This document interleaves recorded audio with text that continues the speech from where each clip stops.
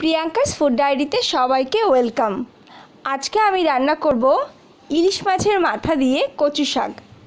বাঙালির সেই চির পুরাতন জিভে জল আনার রান্না। চলুন দেখে নিই আমি কি করে রান্নাটা প্রথমে একটা খালি কড়াইতে কচু শাকগুলো কেটে খুব ভালো করে পরিষ্কার করে ধুয়ে আমি ঢাকা দিয়ে রাখব। কিছুক্ষণ এটাকে ভাপ দিয়ে এর থেকে যে জলটা বেরোবে সেটাকে আমি ফেলে দেব।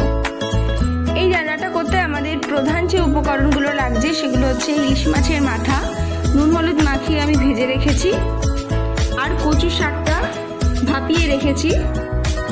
আর লাগছে কাঁচা লঙ্কা বাটা, তেজপাতা, শুকনো লঙ্কা, পাঁচ ফোড়ন, আর মৌরি বাটা।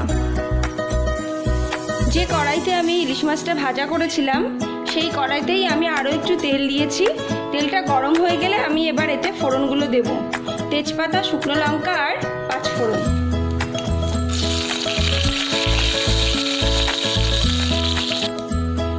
ফোড়নটা একটু হয়ে গেলেই আমি এর মধ্যে দেব কাঁচা লঙ্কা বাটা।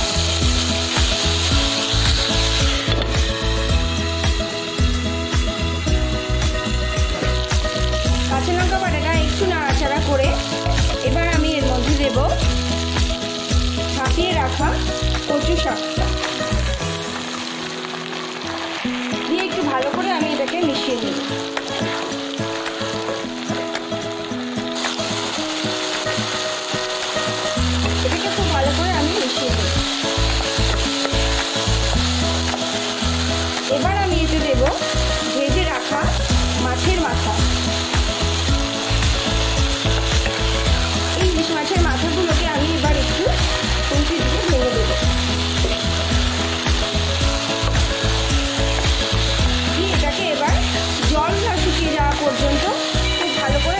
হবে।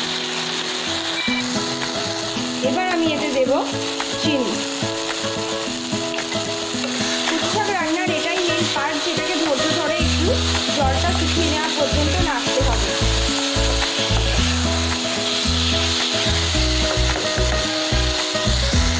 প্রায় দশ মিনিট পর যখন একদম জলটা শুকিয়ে যাবে কচু শাক থেকে, তখন আমি এর মধ্যে অ্যাড করব দু চামচ মৌরি বাটা।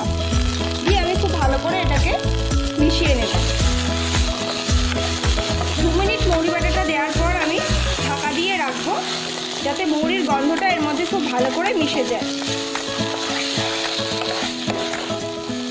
এবার আমি এটাকে ঢাকা দিয়ে রাখব।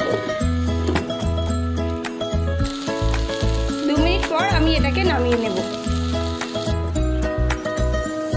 তাহলে ইলিশ মাছের মাথা দিয়ে কচু শাক আমাদের একদম রেডি